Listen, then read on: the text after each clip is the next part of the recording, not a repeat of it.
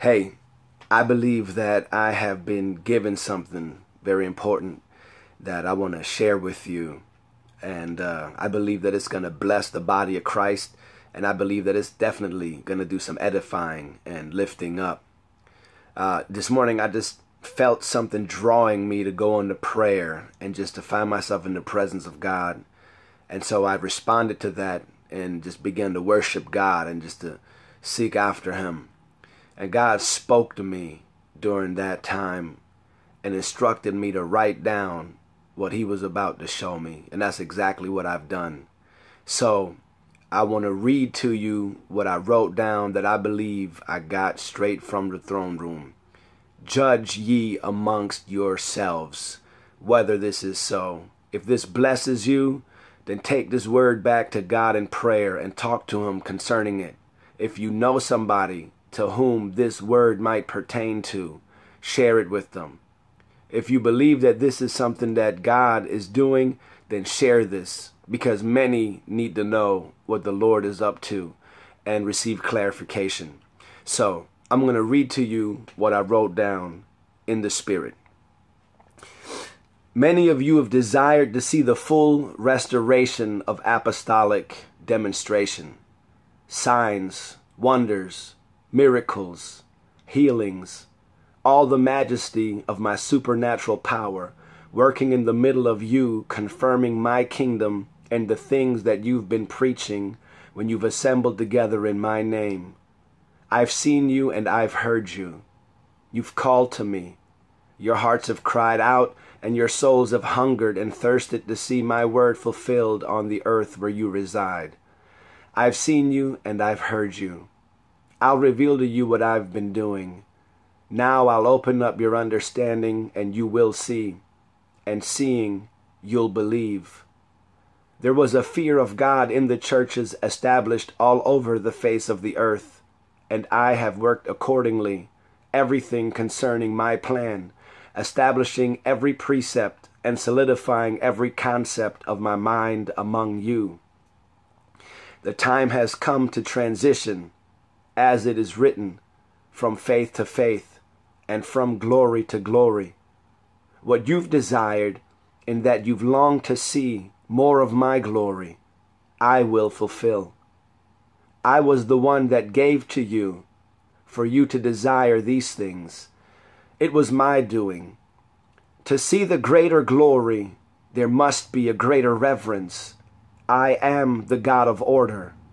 For the greater reference, there is a price, as it is written, except a corn of wheat fall into the ground and die, it abides alone. But if it dies, it brings forward much fruit.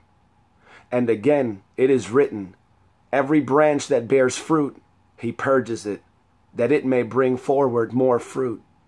And yet again, it is written, Herein is my Father glorified, that ye bear much fruit, so shall ye be my disciples. The reward for sin is death. I willingly paid this price for you because I've desired you. Among my people, I've selected those that would pay the price for the things that you've desired of me concerning my glory. It is the truth. These of my servants have asked of me to be used and desired of me that they might be vessels of my glory. I have honored them and chosen these that they might pay the price.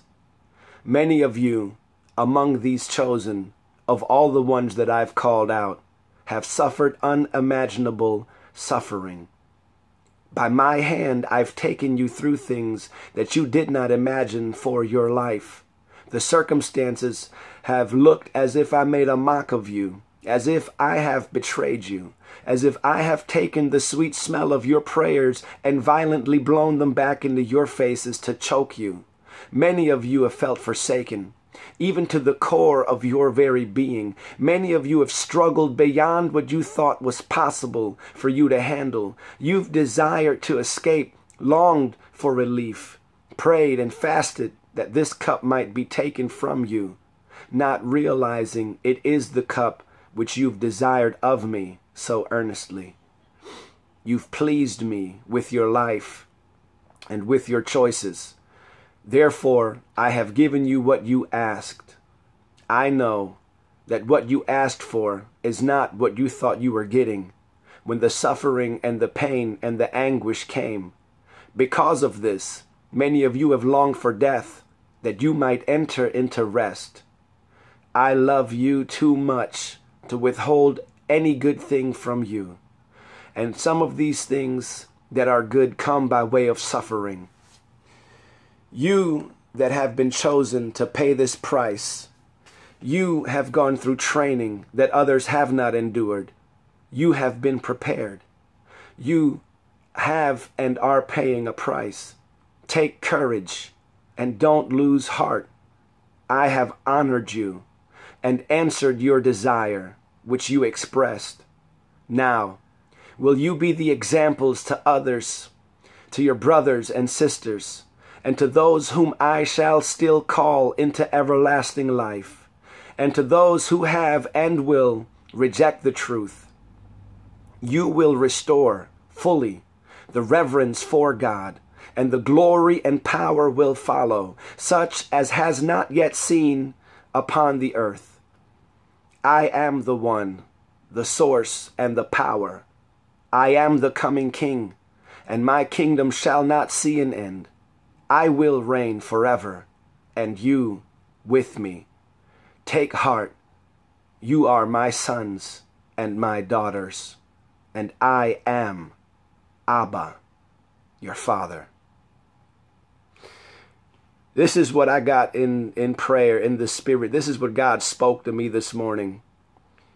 Believe it. Judge for yourself and see if the spirit within you bears witness. And if so, then share this word and cause there to be an awareness within the body and prepare for what God is about to do and rejoice because God is with us. Bless you. Bless you abundantly. Grace and mercy be with you and peace from our Father.